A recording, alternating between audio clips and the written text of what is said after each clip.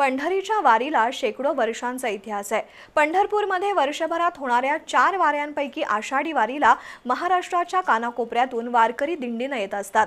सतरा जुलै रोजी होणाऱ्या आषाढी एकादशीच्या निमित्तानं कोल्हापूर जिल्ह्यातून अनेक दिंड्या पंढरपूरकडे रवाना झाल्या. फुलेवाडीमधील विठ्ठलपंथी सांप्रदायिक भजनी मंडळाची दिंडी पंढरपूरकडे प्रस्थान केली.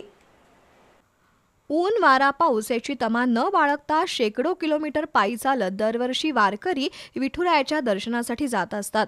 कोल्हापूर जिल्ह्यातून गावागावातील परंपरागत चालत आलेल्या दिंड्या पंढरपूरकडे रवाना होत आहेत.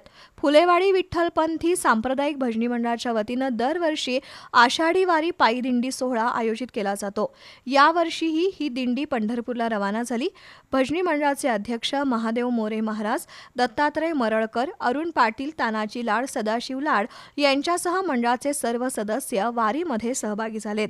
योगेश दरवान निलेश दरवान माजी नगरसेवक किरण दरवान यांनी दिंडीला निरोप दिला. पंधरा जुलै रोजी ही दिंडी पंढरपूरमध्ये पोहोचणार आहे.